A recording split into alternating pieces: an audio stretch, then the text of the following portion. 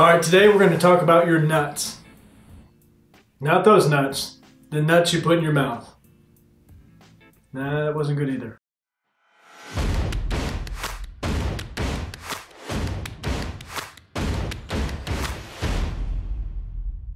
Specifically, we're going to talk about the effects certain nuts have on your testosterone, which ones you should stay away from, and which ones you should keep in your diet. And like all my videos, I'm going to link to the case studies I found relevant in the bottom, but my personal stance on this is I think all case studies are inherently flawed, right? Whether by the bias of the researcher himself, herself, or you know the participants of the actual case study. I mean think about it. How many people do you know that could follow a certain protocol for 30 60 90 days and not have any variance whatsoever that'll kind of skew the results of that case study? And like i always say the best case study and the best research you can do is on yourself turn yourself into a human experiment and you'll get the best results and you'll know exactly what works for you let me start by saying i never consider nuts anything other than a fat source in terms of macros right yes most nuts are packed with some of the essential amino acids but all of them are lacking at least one of the nine essentials. And for me, that discounts their viability immediately. Also, remember I'm vegan, so it'd be very easy for me to justify packing together seven different nuts to create a full amino acid profile, but to me, that's just ignorant, right? And it's just not following my golden principle of highest and best. The only thing I'm concerned with is their lipid profile how it affects the body,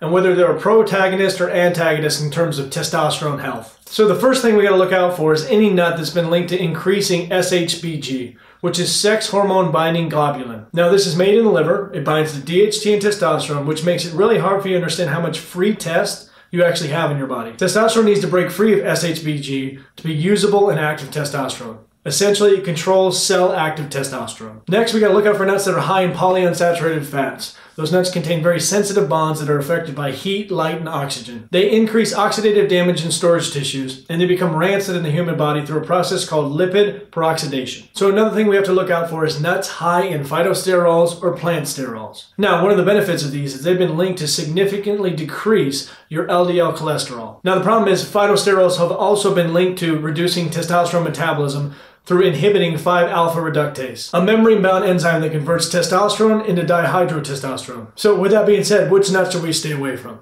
Well, almonds and walnuts are high in polyunsaturated fats and have been linked to increasing SHBG. Also high in polyunsaturated fats are pine nuts and peanuts. Now, peanuts are legumes, but that's beside the point. I'm going to put a link in the description to a list of the top rated polyunsaturated fat foods. You can check it out for yourself, and it's going to give you the top oils, nuts, seeds, everything you can think of that you need to stay away from in terms of polyunsaturated fat. Which brings us to our final point of what the hell can we eat, right?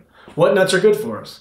Well, there's two on this list that I think are the end all be all. And I, have seen some other videos and people talk about some crazy tiger nuts and stuff that I've never even eaten before. They didn't make the list. The two that you really should put in your diet are Brazil nuts and macadamia nuts. Why did they make the list?